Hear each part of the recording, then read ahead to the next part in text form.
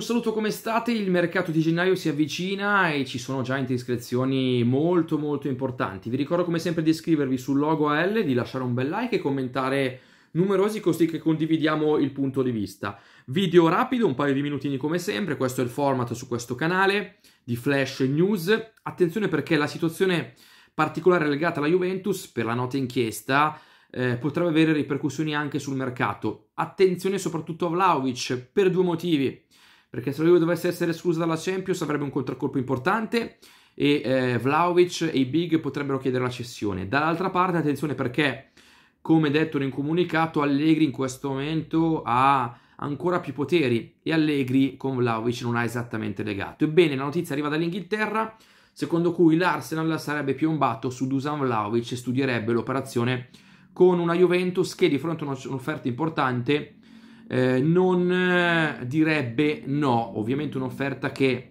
non dovrebbe portare a minusvalenza avendo pagato Vlaovic 80 milioni di euro. Non è l'attaccante, su questo abbiamo relazioni di primissima mano, non è l'attaccante preferito di Allegri, non è l'attaccante ideale e quindi Allegri potrebbe fare un'operazione di questo tipo, cedere il giocatore e andare su altri profili, eh, detto che tra l'altro eh, l'Arsenal è scatenato e vuole prendere anche Milinkovic e Savic, giocatore già in orbita Juventus che però, visti i recenti eventi, probabilmente rischia di sfumare. Ditemi che cosa ne pensate, qualsiasi squadra voi tifiate.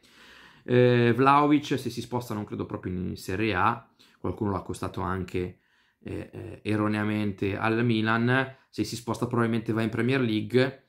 E la Juve fa un affare oppure no, secondo me è un giocatore fortissimo, ho la sensazione che con Allegri, il gioco di Allegri, lui ci azzecchi poco o nulla. Ditemi che cosa ne pensate, commentate numerosi qui sotto, lasciate un like e mi raccomando iscrivetevi se non avete ancora fatto qualsiasi squadra voi tifiate. Un abbraccio a tutti.